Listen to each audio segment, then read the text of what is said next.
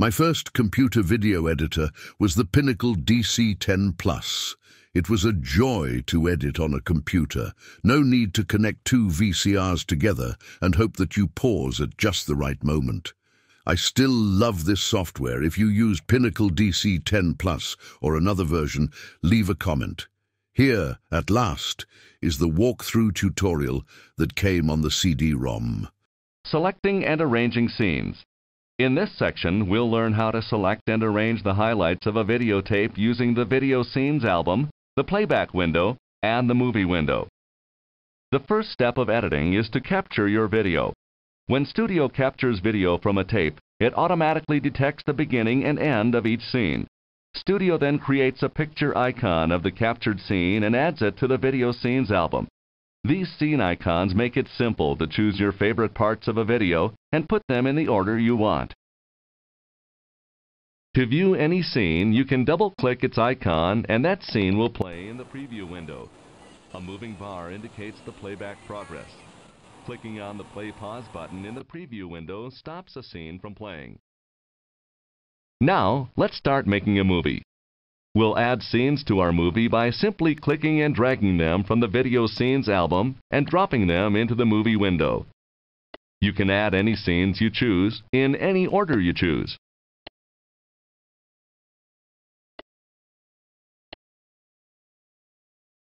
You can also drag and drop scenes in between other scenes. You'll see a placement indicator highlight as you drag the new scene between the other scenes. When you drop the clip, it snaps into place and the other clips move over to make room for it. Now that we've added the scenes that we want in our movie, we can easily change their order. Just click and drag the scene to where you want it. The placement indicator makes it easy to see where the clip will go when you release it. That's it! We've now made a rough cut that includes the scenes we want in the order we want. You can view your movie at any time by clicking on the first scene and then clicking play in the preview window.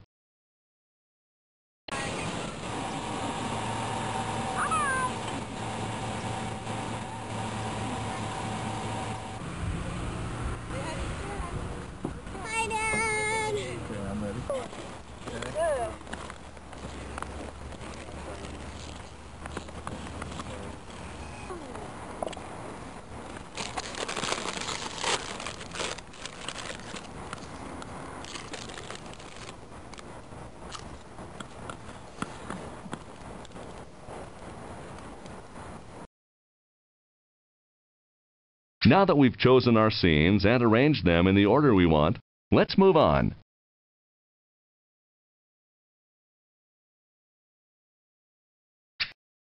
Adding transitions. In this section, we'll learn how to add transitions between our clips. Studio makes it simple to add professional style transitions like fades, dissolves, and a wide variety of wipes. First, we'll click the Transitions tab on the album. Our album is now filled with a wide variety of transitions to choose from. These transitions can smooth the change between scenes and add variety and excitement to your movies. When we click on a transition, the playback window will show us an animation of the transition effect. To add this transition to the movie, we simply click and drag it down into the movie window and drop it between the clips we want to apply it to. To view the transition effect in our movie, we can click the play button in the playback window.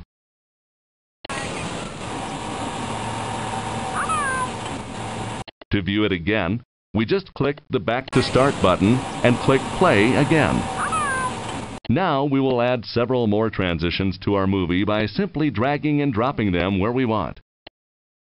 To step through an effect, we just click on a transition and then click the Frame Forward button repeatedly.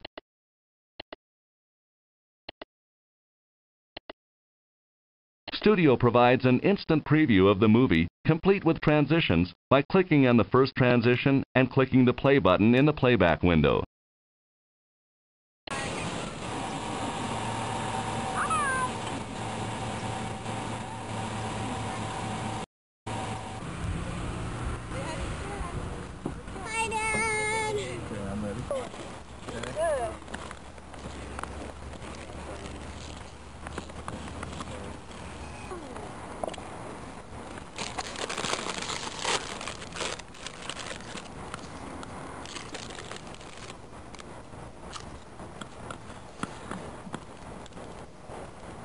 You've now seen how easy it is to add exciting transitions to the clips in your movie.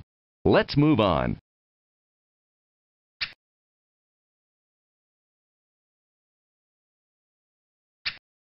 Using the timeline.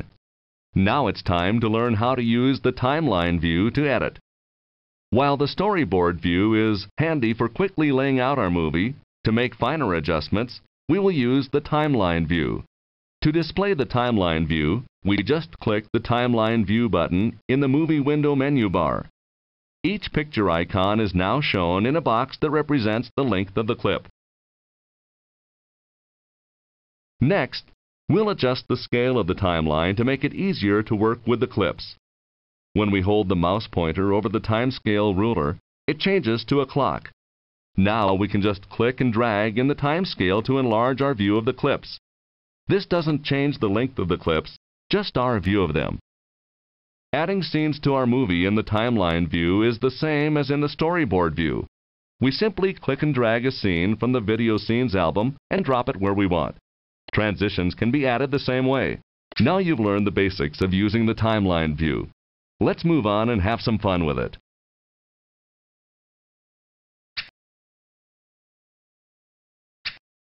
Trimming clips and transitions. Now we'll learn how to use the timeline view to trim clips. Sometimes you will want to shorten a clip. This is easy to do in Studio.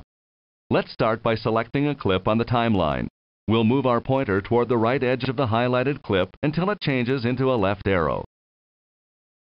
Now we just click and drag the arrow to the left and you can see the clip getting shorter. The playback window will change to show you the new end of the clip. Let's take a look at our change. Notice that the clip of the child skating is shorter now.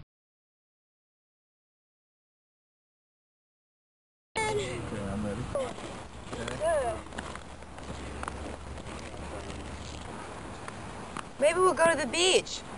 Transitions can be lengthened and shortened the same way.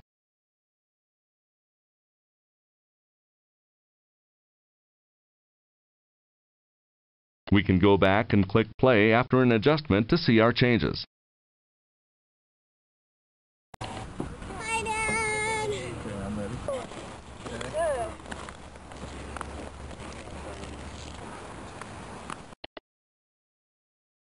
That covers the basics of editing video with Studio. Now let's see how easy it is to add professional titles. Adding titles. Studio makes it easy to add cool titles to your movies. In this step, we'll show you how to overlay professional style titles on top of your video scenes. First, we'll double click on the title overlay track at the point in the timeline where we want the title to appear, below the first clip. The title editor appears. In the main window is the video frame our title will begin in, and some guides to help us position it. To get started, we click inside the guides to place the I-beam text cursor where we would like the title. Then we type in our title and the text appears on top of the video frame. Now that we can see our title, we realize it looks rather plain and is too small. Let's fix it. To get started, we must click and drag across the text to select it. Now we can pick a more exciting title style by going to the View menu and selecting Preset Styles. This opens a scrolling window of different title styles, and we just click on the one we like. That looks much better, but our title is a little too small. To enlarge it, just click and drag one of the handles.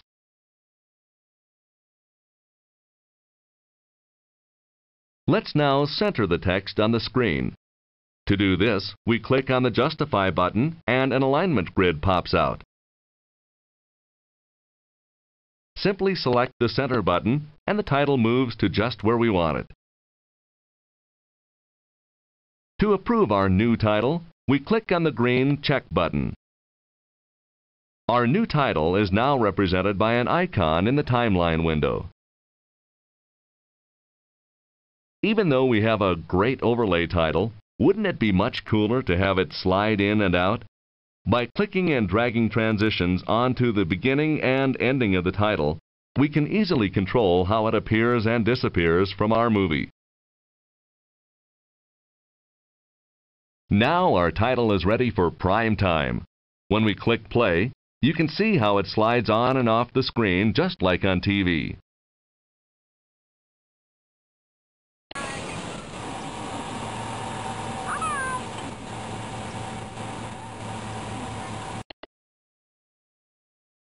Now that you've seen how easy it is to create professional titles, let's move on. Adding sound. Now that we've completed the visual part of our movie, let's enhance our audio with sounds and music. First, we'll learn to add sounds to spice up our movie.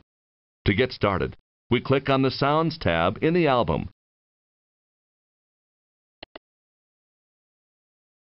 The album is currently filled with vehicle sound effects. To preview any of them, just double-click the name in the album. To add the car horn sound effect to our movie, we just click and drag it to the sound effect track in the movie window. We'll place the sound effect at the time in the movie that we want it to occur.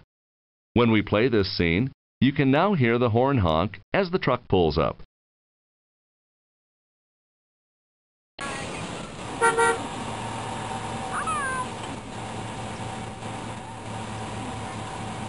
See how simple it is to enhance your movie with sounds? Let's move on and add some music.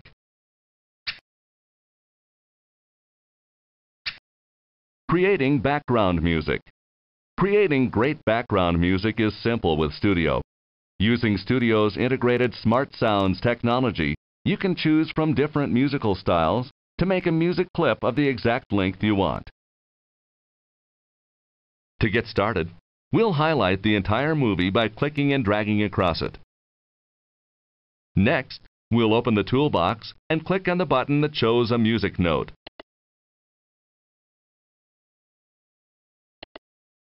You can now see Studio's background music tool. You notice that the length of the music is already filled in for us because we highlighted the movie before opening the toolbox. Now we simply select the style of music, the song, and the version of it that we want. When we click Add to Movie, the clip is added to the music track of the movie window. Now we'll close the toolbox and play part of our movie to hear how it sounds.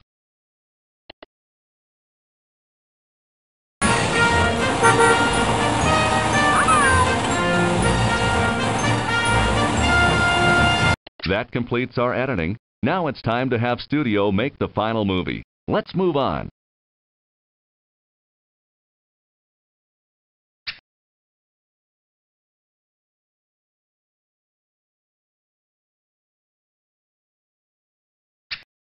Making the movie. Our movie is now ready for output to tape or file. Select the Make Movie button located at the top of the screen and the album is replaced with the Make Movie window. You have the choice of making a videotape of your movie or making a digital movie, also known as an AVI file, that can be played on any Windows computer, emailed to others, put on a home page, and more. At the top of the new window are two buttons, one of a videotape and one of a hard disk. Currently, the videotape button is pressed in, and you can see the output controls for creating a finished movie on videotape. Since creating a videotape requires setting up your VCR, for this tutorial, we'll click on the disk button and make an AVI movie file to play on the computer. Now, just click Go, and Studio will begin making the complete AVI movie. In the playback window, you can see the progress bars indicating the clips being combined. Okay, let's skip ahead and see the final movie. The completed movie. Congratulations! You now know the basics of making fun, creative movies with Studio.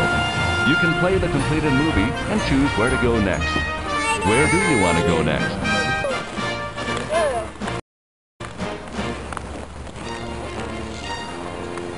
Maybe we'll go to the beach tomorrow. Okay. If you are still here, please enjoy a full screen version of the final movie.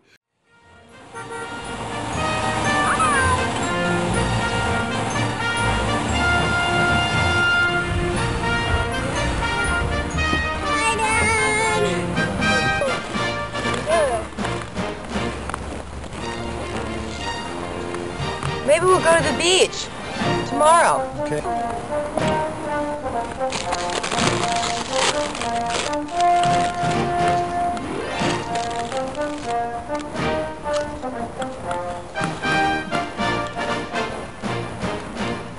Here is the raw footage that was used to produce A Day in the Park.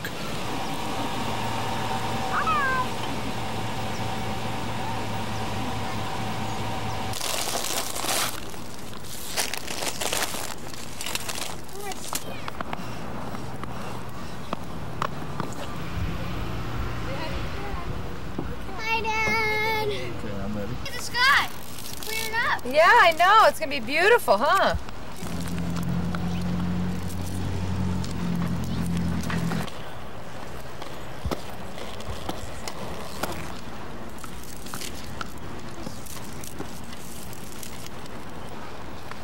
Maybe we'll go to the beach tomorrow. Okay. Did you see that?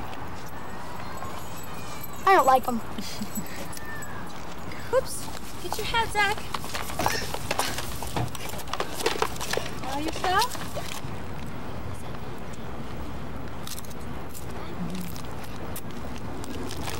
Do you want some potato salad? No? You want some potato salad? No?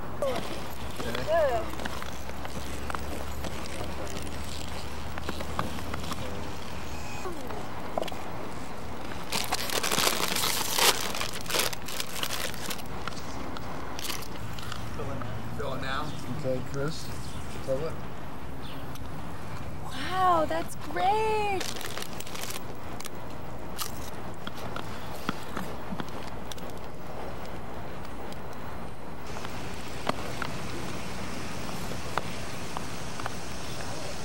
Ooh, it's hot out here.